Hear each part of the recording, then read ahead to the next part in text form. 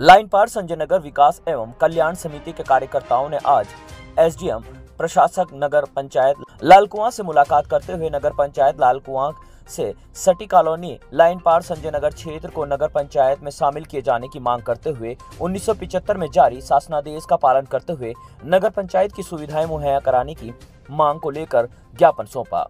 वहीं मामले पर एसडीएम पारितोष वर्मा ने कहा है कि पूर्व में जारी शासनादेश का परीक्षण किया जा रहा है, साथ ही मामले में संबंधित अधिकारियों को ज्ञापन भेजा जा रहा है, जिसके पश्चात अवलोकन करने के बाद आगे की कार्रवाई की जाएगी। वहीं समिति के अध्यक्ष मुख्तियार अहमद ने कहा है कि लाइन पार संजय नगर में हमेशा गंदगी का अंबार लगा रहता है।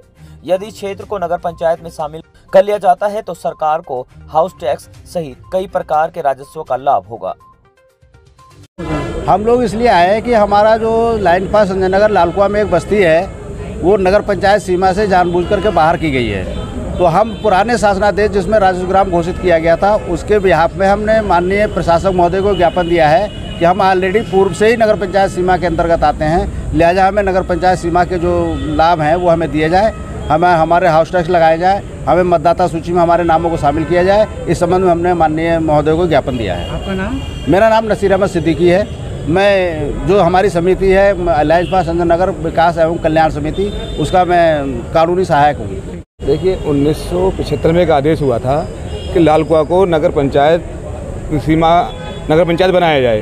तो नगर पंचायत तो बनाया गया, लेकिन कुछ हिस्से को छोड़ दिया गया। जब से हम लोग वंचित थे और हम लोगों की नॉलेज में ये बात आई नहीं, और जब नॉलेज में आई है तो हम प्रशासन को और लोगों सबको आगाह कर रहे हैं, भाई, हमें इस समय से इससे वंचित रखा गया और इसको हमें नगर पंचायत में शामिल किया जाए। और अब प्रशासन, अब ये कह रहा है, प्रशासन कहता है कि हमें अभी तक पता ही नहीं था भाई कहाँ तक है, कहाँ तक नहीं है। अब प्रशासन को हम जागरूक कर रहे हैं कि भाई हम खुद आपको ले रहे हैं कि हम यहाँ तक हैं और ये शासन आदेश है। तो इसलिए हमें, हम तो हर हर चीज़ को तैयार हैं कभी हाउस टैक्स देने को तैयार हैं, आपको टैक्स देने को तैयार है, लेकिन हम इस तरीके से रह रहे हैं वहाँ पे। गंदगी में इस तरीके साथ रह रहे हैं, ना नगर पंचायत की सुविधा है, ना किसी की और सुविधा है, हम तो सुविधा ही मांग रहे हैं सिर्फ़। और नगर पंचायत से करें हमें नगर पंचायत में शामिल कर लो।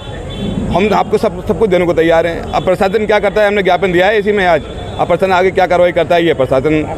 मेरा नाम मुख्तार अहमद अध्यक्ष समिति। देखिए संजय नगर के जो क्षेत्रवासी हैं उनके द्वारा पूर्व में भी इस तरह का ज्ञापन दिया गया है। और एक तो इनका द्वारा जिस शासनादेश का उल्लेख किया जाता है उसका परीक्षण किया जा रहा है। साथ ही उनका जो ज्ञापन है उसको शासन को प्रेषित किया जा रहा है। देखिए निकाय चुनाव की अभी तिथि घोषित नहीं हुई है।